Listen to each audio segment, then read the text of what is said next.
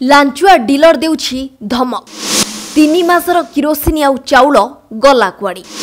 ସରପଞ୍ଚ ଆଗରେ ଅଭିଯୋଗ କଲେ ସରପଞ୍ଚ କହୁଛି ମୁଁ କିଛି ଜାଣିନି। ଆଗାମୀ ଖବର ପ୍ରସାରଣ କରିଥିବାରୁ ଡିଲର ଦେଉଛି ଧମକ। ଲାଞ୍ଚୁଆ ଡିଲର ଗ୍ରାମବାସୀଙ୍କୁ ଦେଖାଉଛି ନାଲି ଆଖି ଲାଞ୍ଚୁଆ ଡିଲର କହୁଛି ମୁଁ କିରୋସିନି ଦେବିନି କ'ଣ କରିବ? ଯାଜପୁର ଜିଲ୍ଲା ଧର୍ମଶାଳା ବ୍ଲକ ଅନ୍ତର୍ଗତ ମିର୍ଜାପୁର ଗ୍ରାମ ପଞ୍ଚାୟତର ଡିଲର ଶ୍ୟାମସୁନ୍ଦର କର।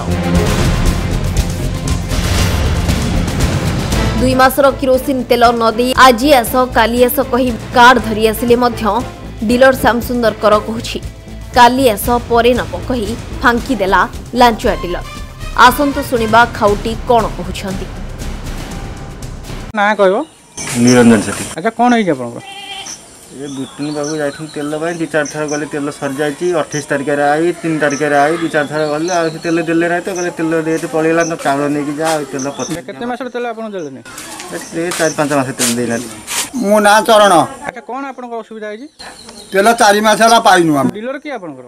ଡିଲର ବୁଟୁନ। ଆଚ୍ଛା ଦେଲାନି ଆପଣଙ୍କୁ କେତେ ମାସ ତେଲ ଦେଇନି? ତିନି ମାସ ଦେଇନାହିଁ ବା ତା ଦୌଡ଼ି ଦୌଡ଼ିଛି।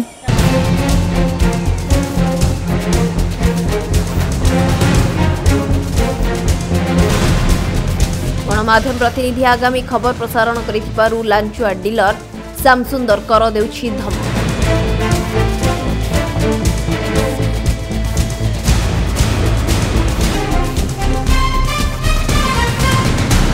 ଯାଜପୁର ପ୍ରଶାସନକୁ ଆମର ନିବେଦନ ତୁରନ୍ତ ଏଭଳି ଡିଲର ଶ୍ୟାମସୁନ୍ଦର କରଙ୍କ କଳା କାରନାମା। ଟିକେ ତଦନ୍ତ କରନ୍ତୁ।